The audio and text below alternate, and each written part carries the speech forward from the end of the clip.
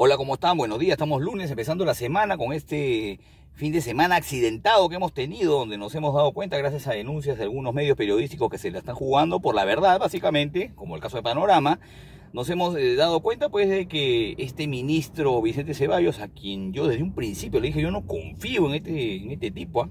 un tipo totalmente desconfiable, el hecho este de de que no haya reconocido a su hija, ya lo pinta de cuerpo entero, pero usted quiso seguir confiando en Vicente Ceballos, ¿no es cierto?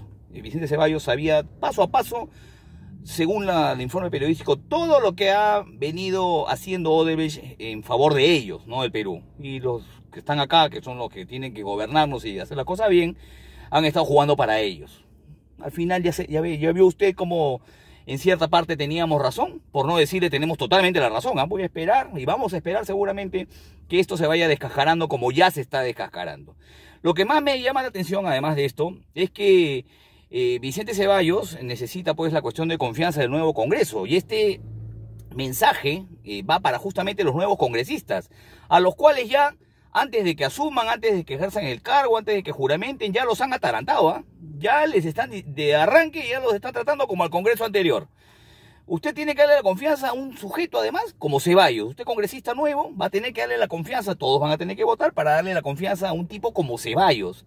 Va a tener que darle la confianza a un gabinete donde está esta señora Susana Vilca, que está metida, en algún momento estuvo metida en el tema de la minería ilegal y es ministra de Energía y Minas. Y usted tiene que darle la confianza porque así quiere Vizcarra, por eso se reunió con un montón de congresistas que todavía no han asumido, para que usted haga lo que Vizcarra quiere, haga lo que Ceballos quiere, no se queje. Y además ha salido el ministro Carlos Morán, el general Carlos Morán, que está totalmente politizado y yo creo del lado incorrecto, a decir que incluso le van a quitar la seguridad policial. O sea, además los pechan antes de que asuman y no le vamos a dar ni policías, ¿ah? ni, se, ni se imaginen ustedes que eso va a pasar. O sea, de arranque les han metido dos planchazos ya pues, denle la confianza a ese gabinete. Ahí nos daremos cuenta si ustedes están jugando para Perú o para sus frejoles, que es lo que básicamente creo yo que es lo que va a pasar.